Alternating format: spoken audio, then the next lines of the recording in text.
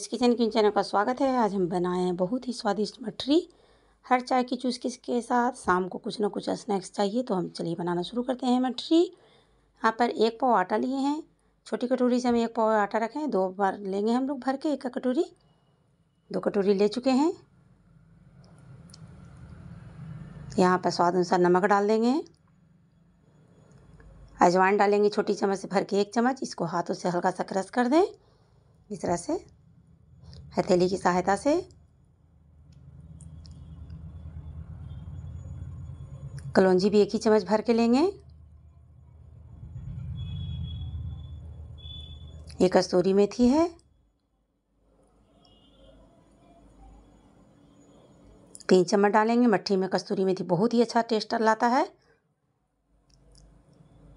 यहाँ काली मिर्च लिए हैं, यानी गोल की लिए हैं एक चम्मच भर के। यानी डेढ़ चम्मच ले रहे हैं। उसको दरदरा मोटा ही कूट लेंगे। बहुत ही टेस्टी बनेगा। इसलिए दरदरा कूट कर दे दीजिएगा। हल्का सा स्पाइसी भी इसे लगेगा। थोड़ा मोटा ही कूटिएगा।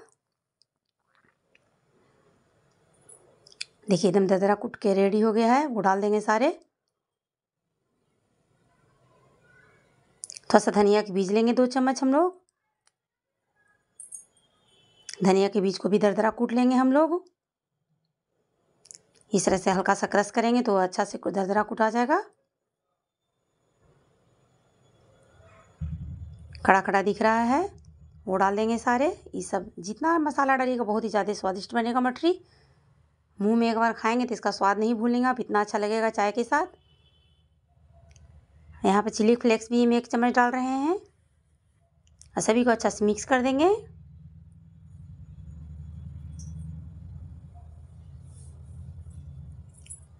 यहाँ पर मोम डालने की बारी आई तो पाँच बड़े चम्मच हम लोग मोम डालेंगे। अच्छा से मिक्स करेंगे। एक भी गुठली नहीं रहने देंगे। इतना मिलाएँगे कि हाथ में मुट्ठी बाँध के देंगे। अच्छा से मुट्ठी बंद हो गया। तो समझिए हमारा, देखिए इधर मुट्ठी बंद हो गया और टूट नहीं रहा, इसका मतलब बहुत ही खस्ता बनेगा। इसके लिए हम सुसुम पानी यहाँ पर लगाएँगे। एक पाव के लिए कम से कम दस चम्मच आपको पानी चाहिए। तो एक ही बार में पानी थोड़ा सा हम दे रहे हैं। धीरे धीरे करके सानते जाएँगे। मिक्स करेंगे। एकदम हार्ड इसका आटा हम लोग को तैयार करना है। जितना हार्ड आटा रहेगा, उतना ही खस्ता आपका मटरी बन के रेडी होगा। इस तरह से एकदम हार्ड देखिए, हम डो यहाँ तैयार कर दिए हैं मटरी के लिए।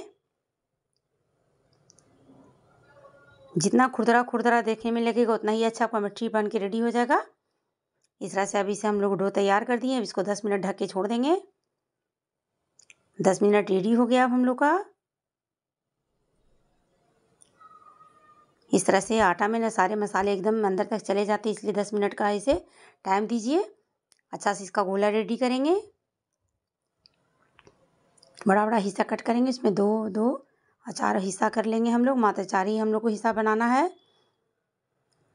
अब इसे चकला पर हम लोग बेलेंगे। अच्छा तरह से बहुत हार्ड डो है, देखिए दिक्कत हो रहा है, लेकिन इतना ही अच्छा से डो तैयार करेंगे हम लोग मट्ठी का, तभी बहुत ही अच्छा टेस्टी बनेगा।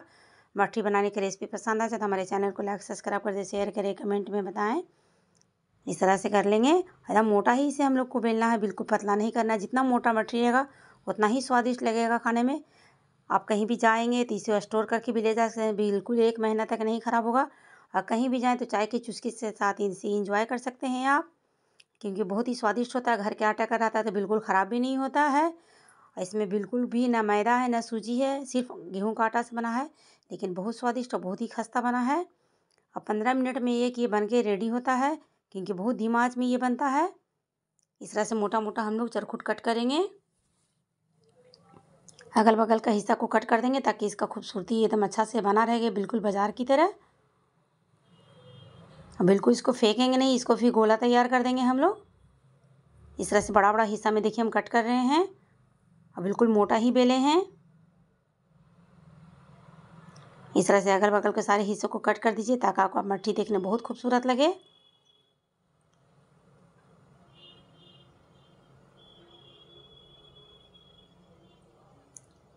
बाद में हम लोग इसका गोला बना के यूज़ कर लेंगे।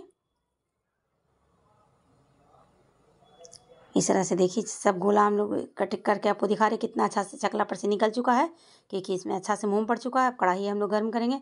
हल्का ही एकदम धीमा आज पे गर्म करना है, एकदम बिल्कुल इसको तेज़ मत गर्म कीजिएगा तो एकदम आपका मट्ठी बिल्कुल ख़राब हो जाएगा। हल्का सा देखिए डालने से हल्का सा ही देखिए आपको दिख रहा होगा, बबल आ रहे हैं। तो इसका मतलब तेल हमारा रेडी हो चुका है। हल्का ही धीम आँच में हमको छाना इसलिए पंद्रह मिनट एकदम इसमें टाइम लगेगा, क्योंकि मट्ठी बहुत हम लोग का मोटा है। धीमा धीमा आँच में इसी तरह हमें बनाना है उलट पुलट करते जाना है।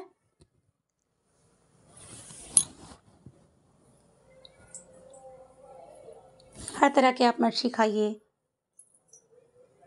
इसे जो वीडियो आपके सामने आता है उसे एक बार ज़रूर बनाएँ। इस तरह से ट्राई करें, तभी तो बदल बदल के आपको मच्छी खाने का मन करेगा और बनाते जाइएगा। और परिवार के साथ इसे इंजॉय कीजिएगा। इसलिए जो एक बार बनाएँ अच्छा से बनाएँ।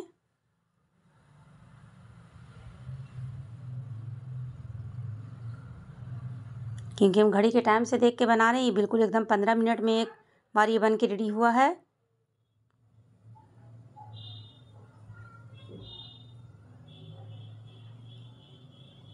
इस तरह से बीच में हिलाते चलाते जाएँ ताकि आपका मट्ठी एकदम दोनों तरफ़ से पक के रेडी हो जाए।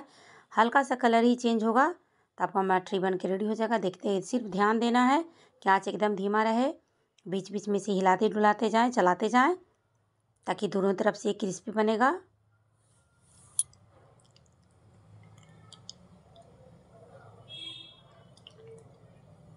कभी भी जल्दी से आँच को बिल्कुल तेज़ भी ना करें, एकदम धीमा धीमा आँच में जितना बनेगा, उतना ही स्वादिष्ट और खस्ता बनेगा। मटरी आपका? सिर्फ़ हल्का ही सुनहरा हमें करना है, यानी हल्का गोल्डन करना है। इससे ज़्यादा हम लोग को बिल्कुल नहीं करना है।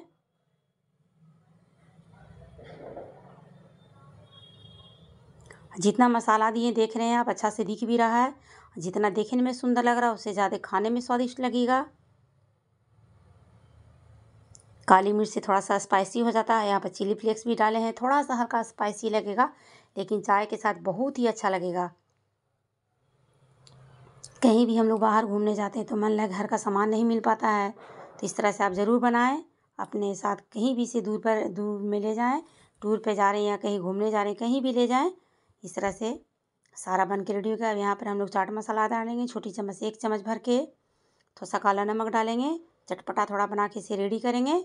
उसके बाद हम लोग इसे हल्का सा मिला देंगे इस तरह से। क्योंकि चाट मसाला मिसाले फ्लेवर और टेस्ट होते हैं। एकदम चटपटा बन के रेडी हो गया है। उसके बाद इसके जब भी मिलाएँ मसाला तो गर्मा गर्मी मिलाएँ तो सारे मसाले ऐसे मिक्स हो जाते हैं, चिपक जाते हैं। अब दिखाते हैं आपको तोड़ के इस तरह से देखिए कितना खस्ता अच्छा से बन के रेडी हो गया है। इसी तरह से बनाएँ।